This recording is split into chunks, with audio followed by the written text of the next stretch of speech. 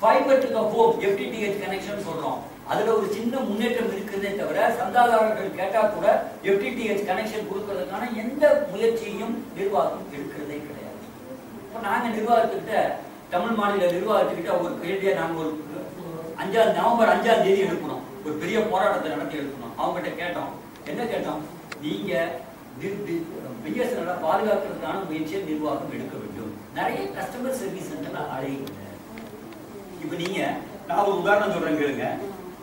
நம்ம விருதுநகர் மாவட்டம் விருதுநகர் மாவட்டம் சுத்தி நாற்பது கிலோமீட்டர் இருக்கு. இந்த நாற்பது கிலோமீட்டர்ல பதினெட்டு டெலிபோன் எக்ஸ்சேஞ்ச் இருக்கு. நான் சொல்றது புள்ளி உரம் நீ நோட்டு நாலு கான்ட்ராக்ட் ஊழியர்கள் பதினெட்டு தொலைபேசி நிலையத்தை எப்படி பராமரிக்க முடியும்? எங்க மாநில நிர்வாகத்துக்கு கேட்டோம் இது நியாயமா? ஆளே இல்லாமல் இருப்பது எப்படி? எப்படி இந்த இது வந்து சொல்ல முடியும்? பல தொலைபேசி நிலையங்கள் பூட்டப்பட்டு விட்டன. ஆள் இல்லைன்றதுக்கா பூட்டிடுறாங்க. எக்ஸ்சேஞ்ச் பூட்டினா சர்வீஸ் போயிடும் கரண்ட் போனா பேட்டரி ஆன் பண்ண ஆள் இருக்காது. சர்வீஸ் மோசமாக ஆரம்பிச்சிடும் இதையெல்லாம் நிர்வாகத்தின் கவனத்திற்கு நாங்க கொண்டு வந்தோம். மாநில நிர்வாகத்துக்கு தமிழ்நாட்டில் நாம குறைந்தபட்சம் நாம சில முயற்சிகளை எடுக்கலாம். நீங்க அதுக்கு தடையா இருக்கீங்க என்று நிர்வாகத்திட்ட கேட்டோம். அப்போ அவங்க ஒரே கணக்கு என்னன்னா பிஎஸ்என்எல் லாபமா வரணும்னா செலவை குறைக்கணும்ன்றாங்க. சந்தோஷம்.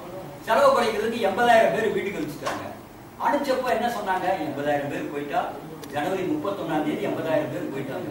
பிஎஸ்என்எல்ல எல்லாருக்கும் மாசம் மாசம் சம்பளம் ஒழுங்கா கிடைக்கும்னாங்க. நான் சொல்றேங்க போன நவம்பர் மாச சம்பளம் இன்னைக்கு வரைக்கும் கிடைக்கும் நிரந்தர ஊழியர்கள் கிடைக்கும் ரைட் ஒப்பந்த ஊழியர்கள் என்ன சிஸ்டம் கொடுத்துட்டாங்க இப்போ? நீங்க இன்னும் இந்த கான்ட்ராக்ட்ல எதுவுமே எங்களுக்கு தேவையில்லைன்றாங்க. அவங்க புதுசா கொடுத்திருக்க சிஸ்டம் பேரு அவுட் சோர்சிங் அவுட் சோர்சிங்னா ஒரு வேலையை இந்த வேலையை செய்வாங்க இவங்க ஒரு கான்ட்ராக்டர் கொடுத்துருவாங்க. அந்த கான்ட்ராக்டர் அவர் ஆளுகளை வச்சு வேலை செய்யணும்.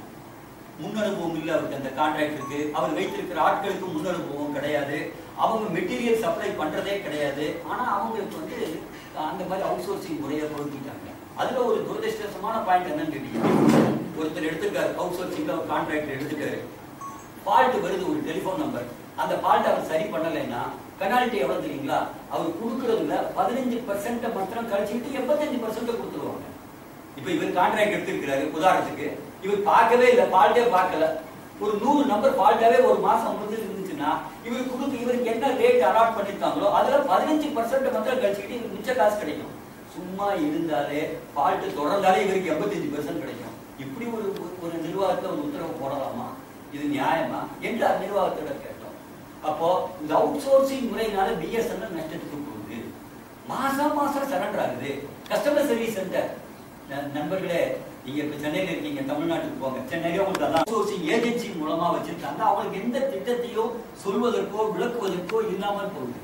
அப்போ பிஎஸ்என்எல் தமிழ்நாட்டை நாங்க சொன்னோம். தமிழ்நாட்டை இம்ப்ரூவ் பண்றதுக்கு நாங்க வந்து உதவி செய்வோம் மாநில நிர்வாகத்திட்ட சொன்னோம். நாங்க உதவி செய்யறோம் எக்ஸ்ட்ரா முறைப்படி பயன்படுத்துங்க. சட்ட பிரகாரம் பயன்படுத்துங்க. என்ற கோரிக்கையை சீஃப் ஜெனரல் மேனேஜர் இங்க தலைமை பொது மேலாளர் இருக்கிறாரு அஞ்சாம் தேதி நாங்க ஒரு இன்னைக்கு வரைக்கும் ஒண்ணும் செய்யல. நீங்க என்ன காரணம் நினைக்கிறீங்க? இதை தனியா இந்த பிஎஸ்என்எல் இப்படி நஷ்டமடைய செய்து ரிலையன்ஸ் ஜியோவுக்கு கொடுக்க வேண்டும் என்பது அரசின் சதி. சரி சார் பிரச்சனைகள் தனியார் கையில் கொடுக்கணும் இருக்கு. ஆனா இது எந்த புள்ளியிலிருந்து தொடங்குது? எங்க அது மெயின் பாயிண்ட் அரசாங்கத்தின் கொள்கைனா மெயின் பாயிண்ட் தனியார் அதாவது கார்ப்பரேட் நிறுவனங்களுக்கு உதவி செய்ய இல்ல வரல வரவே இல்ல. இல்ல, மெயின் பாயிண்ட் வரல?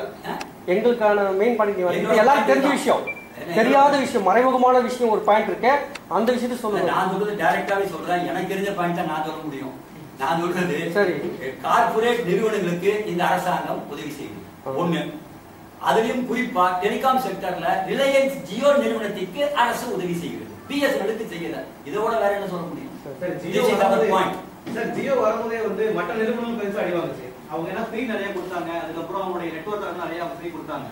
அவங்களுடைய பாரத் அவங்க ரெண்டாயிரத்தி பதினாறுல ஜியோ வந்துச்சு செப்டம்பர் மாசம் அஞ்சாம் தேதி. ரெண்டாயிரத்தி பதினஞ்சு பதினாறுல பிஎஸ்என்எல் ஆபரேஷனல் ப்ராஃபிட் இருந்துச்சு.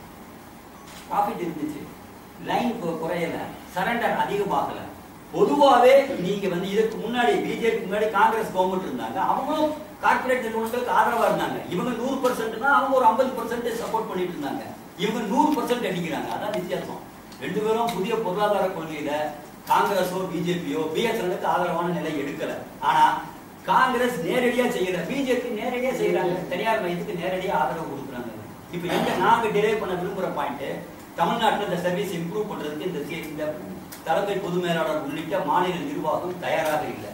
அப்ப நாங்க சும்மா பேசிக்கிட்டே இருக்க முடியாது. அதான் சொல்ல வரேன். இப்போ வந்து இன்னைக்கு பத்திரிகையாளர் சந்திப்பு இன்னைக்கு சாயந்தரம் மாலை நேரம் தமிழ்நாடு முழுக்க நடத்துறோம். சென்னையில சாத்தியம் இல்லை. பாக்கி எல்லா டிஸ்ட்ரிக்ட் ஹெட் அதை நடத்துறோம்.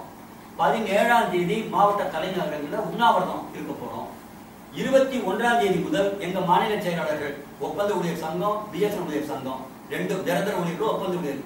ரெண்டு மாநில செயலாளர்கள் இந்த அலுவலகத்தை காலவரையற்ற உண்ணாவிரதம் மேற்கொள்வது என்று முடிவு நான் அதை சொல்றது தான் இந்த கூட்டமே காலவரையற்ற உண்ணாவிரதத்தை நாங்க மேற்கொள்ள போகிறோம் இதுல குறிப்பா எங்களுடைய பிரதான நோக்கம் மத்திய அரசாங்கம் போர்ஜி சேவையை கொடுக்கறதுல எவ்வளவு பண்ணுச்சுன்னு உங்களுக்கு சொன்னேன். ரெண்டாவதா தமிழ் மாநிலத்துல நாம சர்வீஸை இம்ப்ரூவ் பண்றதுக்கு நிர்வாகத்தால முடியும். அது நிர்வாகம் அசைந்து கொடுக்க மாட்டேங்குது கொஞ்சமாவது இம்ப்ரூவ் பண்ணலாம். பண்ண இருக்கிறத வச்சு கொஞ்சம் இம்ப்ரூவ் பண்ணலாம். போர்ஜி கிடைக்கிற வரைக்கும்.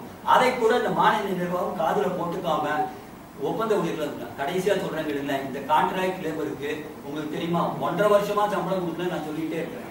சென்னை உயர்நீதிமன்றத்துல வழக்கு தொடுத்தோம். சென்னை உயர்நீதிமன்றம் இப்ப ஒரு வரலாற்று சிறப்பு மிக்க தீர்ப்பு கொடுத்திருக்கிறது. அந்த தீர்ப்பு என்ன தெரியுங்களா?